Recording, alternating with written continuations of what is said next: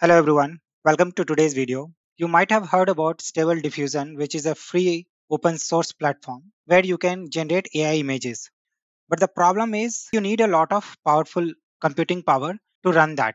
But I have come across a solution called Colab, which where we can run this easily. We don't have to do much. So uh, thanks to this last Ben, uh, he has created a Colab solution where you can install everything in one go and you can start using it. So I will provide the link in the description of the video. You can use it as well. You can go to Google and search for fast stable diffusion last Ben and you'll get this. Okay. Once you have this link, what you have to do is just open it, log in using your uh, Google account.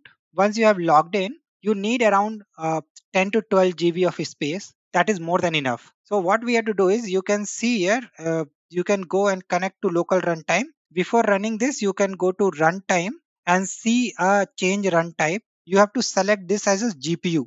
Okay.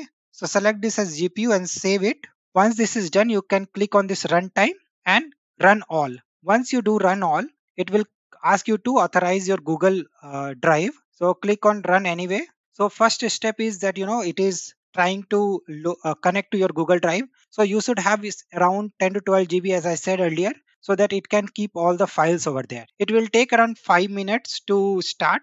Once everything is done, you will be able to use the uh, UI. So you can click on this connect to Google Drive and you can allow. Once you allow, it will connect to your Google Drive and start installing every file. So let's wait. Once the installation is done, you will see there is a public URL here. Click on this. Once you click on this, it will open in new window. And here you will see this UI for your automatic 1111 and here you will have this your uh, all the model which you have uploaded. So by default you will get this model ckpt i have downloaded extra models and i have kept it. So let's see where the files will be loaded in your google drive. So you will have this uh, in your google drive you'll have this sd folder. Inside this sd folder you'll have this diffusion web ui and stable diffusion. In web ui folder you will have this model section. Inside this model you can go to stable diffusion and keep all the model. So you'll see here I have some other model which I've kept it. That's the reason that the space here taken is 15.33. Otherwise you will be able to deploy everything within 10 GB. So I'll talk more about in future videos how we can you know download these kind of models and put it there.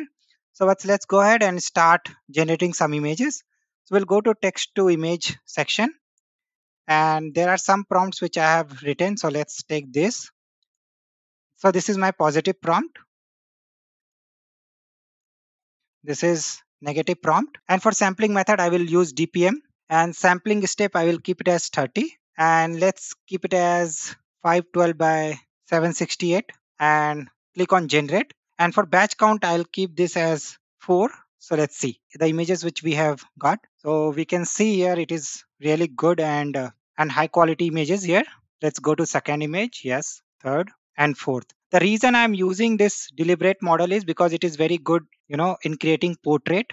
So we'll go ahead and try some other uh, prompt as well. So this time I'm going to use a prompt for a girl who is laughing and standing on a street. So let's go ahead and generate that.